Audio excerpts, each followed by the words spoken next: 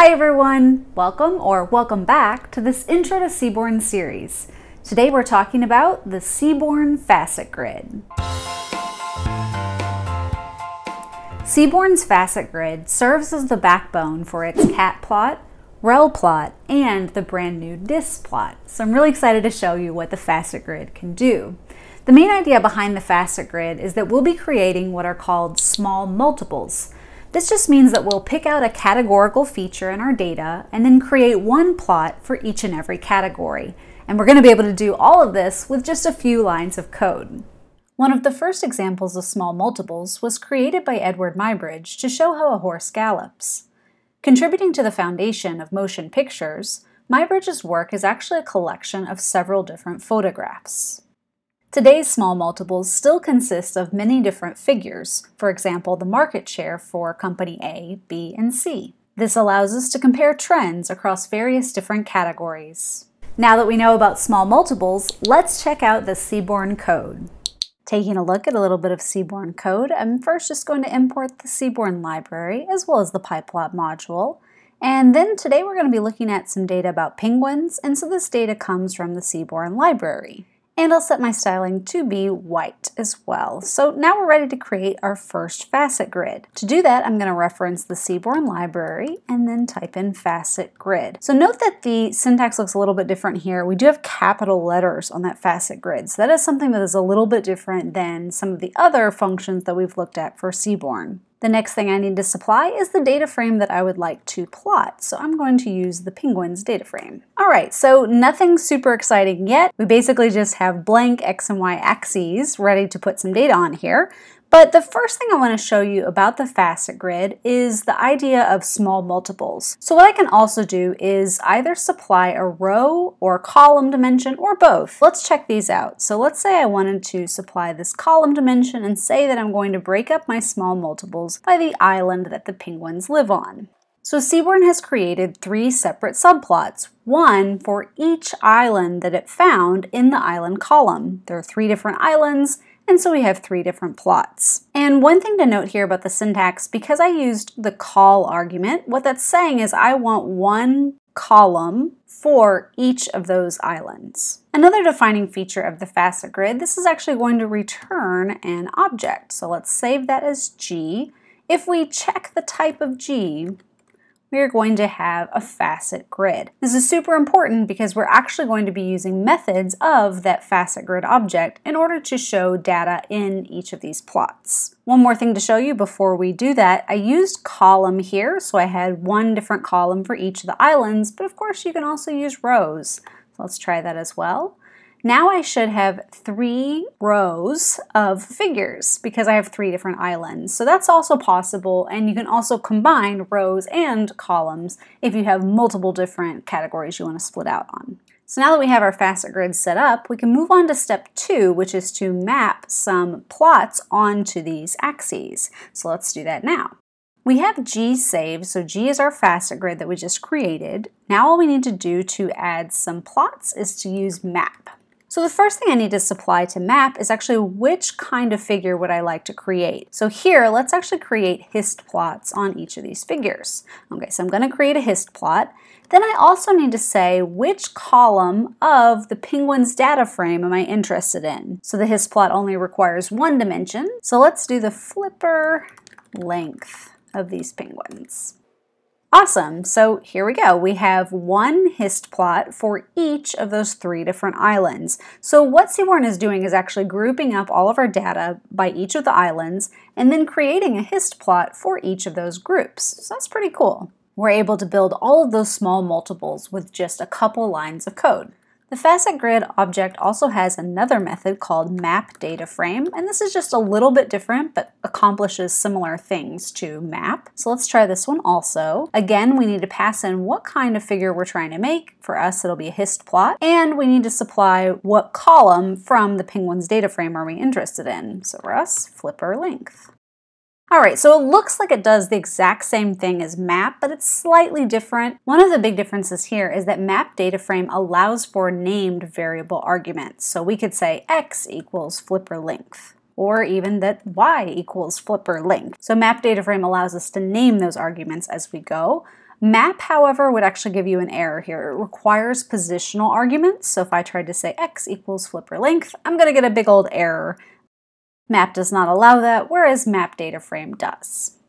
Besides creating those small multiples for you, the other cool thing about Facet Grid is that you can actually pass in whatever kind of plot you'd like here. So let's try a different one. How about scatter plot? And so scatter plot is actually going to require two different arguments, both an x and a y. So let's do that. Again, I'm just referring to the column names of that penguin's data frame. So there's one called culmen depth, and there's another one called culmen length.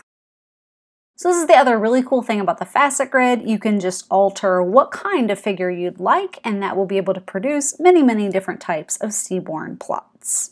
There are three main steps to produce a facet grid with Seaborn.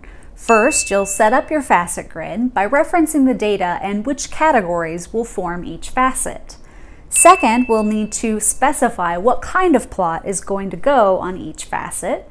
And the third and final step is to then customize your facet grid using methods and attributes of the facet grid. Let's check that out. We previously saw that the facet grid returns an object which we can save in a Python variable. So here I've called it G, and if we check the type of G, that is a Seaborn facet grid. This object comes with many different methods and properties, and you can take a look at these by typing G dot and hitting tab. So there's lots and lots of things that you can do with this facet grid, and we're going to be continuing on styling by using some of these methods. So let's check this one out first. We can set the axes labels through this method called set axes labels. And this method just accepts string values, whatever you'd like to title that x axis and whatever you'd like to title the y axis. And as we see, those labels are then applied to the x and y axes. And we will see that x axis label repeated for each of those small multiples. Seaborn will try its best to title those small multiples appropriately. For example, we have the various different islands, and Seaborn will say island equals dream or Biscoe, etc. But if you'd like a different title for these small multiples, you can pass in a title template. So let's try that. Again, I'll just reference that facet grid object, and I'll use this method called set titles. Now, since I want to change what the template looks like for the columns, I will reference the col template. And the reason why I keep calling this a template will become apparent in just a moment. So let's actually work through this first. I'm going to reference the column name and then write the word island. Let's see what this does. All right, so for each of these different small multiples, I do have the string island, but this col name, because it's specified in these two curly braces and because I've used this keyword column name, I actually see the name of each island showing up there. So this is a really nice way to style those titles and still be able to pull in the name of each of those different islands. And those are again coming from the categories of this island column, which is what we based our facet grid on. And you'll also see that I can just continue styling this facet grid however I'd like. First, I've added the plots, and then I set the axes labels, I set the title templates, etc. And I can just continue with this until I'm satisfied with the facet grid. We also previously saw that you could instead specify a row dimension for your facet grid, and actually you can specify both a column and a row dimension. So let's actually also put the species on the row. Awesome, so now going across each of the columns represent the various different islands, but each of the rows specify the various different species of penguins, this last one being Gentoo, and that goes across each of those different islands. And some of these plots are blank because in this data set we don't have any Gentoo penguins from Dream Island, for example. So this is pretty cool. With the facet grid, we can get one small multiple plot for every single island species combination. And just like with those column templates for the titles, you can also set a row template. And let's do this one as the row name. All right, great. So we have the penguin species and the island for every single small multiple in our facet grid. So there's a couple of additional attributes that you can set directly within the facet grid call. So let's try a couple of these. One thing to notice, each of these plots right now is sharing this one y-axis. If you'd like to have a separate axis for each of your figures, you can just set share y equal to false. So now each plot has its own axes. But one thing to caution you here, this could potentially change the y limits for each of those plots. So notice how each different facet has its own range for the y. And that can be kind of confusing for comparative purposes among these different islands. So let's actually set our y limit, and you can do that right here within the facet grid. And once we do that, all three of these plots will now share this 20 to 70 y limit. Seaborn's facet grid is highly customizable. You can use hue to specify other categories in your data, as well as many, many other styling options, including custom functions. Let's check it out. Like many other plots, we can use hue to show off one more categorical variable within the facet grid. You may think that you should pass hue here to the map data frame method, but there's an issue with this. What happens if you pass in hue here, Seaborn will actually create these hues based on the individual figures. And what you'd probably like to have is a hue based on the overall facet grid. And just to clarify this a little bit further, we could actually add a legend here and you'll see that we have some issues. So you can see from this legend, we definitely have some issues Adelie penguins are in blue, but then Gentoo and Chinstrap are in orange, and it's very confusing, right? So the problem is where we've placed this hue argument. It actually should go up at the facet grid level. Now let's try it again. Awesome! Now we have Adelie penguins in blue, chinstrap penguins in orange, and Gentoo in green, which is exactly what we want. Three different colors for our three different penguin species. So if you are going to use hue, you'll want to specify that within this facet grid function.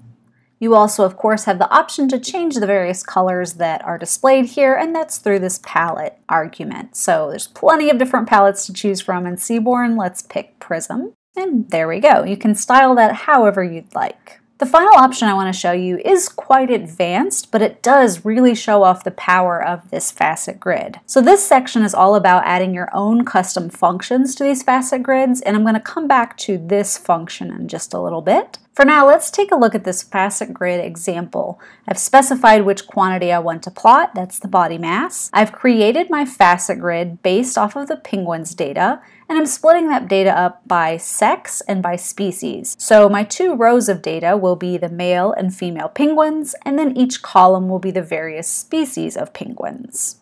I've then mapped my plots onto this facet grid. Here I'm using the KDE plot, and I'm specifying the quantity of interest that I'd like to plot. Here that's the body mass. I also wanted to point out that you can again style these however you'd like and any of these keywords you pass here are going to be going to the individual plots themselves. So I can turn on shading for the KDE or make that line width a little bit darker, those keyword arguments are going to be specific to whichever kind of plot you're displaying on this facet grid. Then I've also added a title template. All my rows are going to have the row names, and my columns are going to have the column name and then the word penguins. The way that custom functions come into play here, we can actually add, let's add it right here, one more line that will be mapping the data frame and this map data frame method actually accepts any kind of function you'd like as long as that function has a data argument. So I'm going to use my own custom function at this point. If I take a look at my custom function, here's what it does. It has a data argument that's required, it also wants a keyword argument called var, so that's going to be the variable of interest. If the variable isn't provided, I'll just skip this step, but if the variable is provided, but I'm going to compute the mean of the body mass here, I'll grab my current axes, whichever facet I'm working on at that point, and I'm going to be adding a line at the mean value, a vertical line right at the mean. And in this final step, I'm just going to be annotating the mean for that particular group of data. All right, so let's try it out. That function is called add mean line, and it's a function I created myself. It takes in the data argument, and that data is coming from however I set my facet grid up. So it's going to be passing in the penguins data. The other thing that this function needs is a variable, so the var argument here, and that's just going to be our quantity of interest. That's just the body mass. All right, let's see what it does.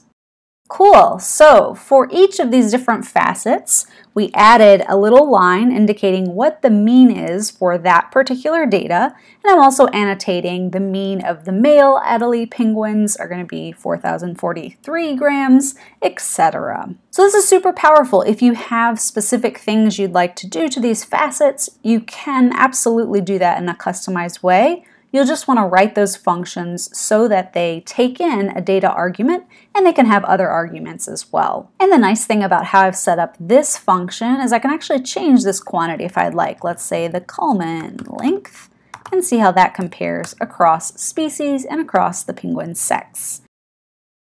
So I hope you enjoyed learning all about the Seaborn Facet Grid. Like always, the code is available to you through my GitHub page. And like I mentioned in the beginning, the facet grid serves as the backbone for the cat plot, rel plot, and dis plot. So we'll be talking even more about the facet grid in those videos. See you then.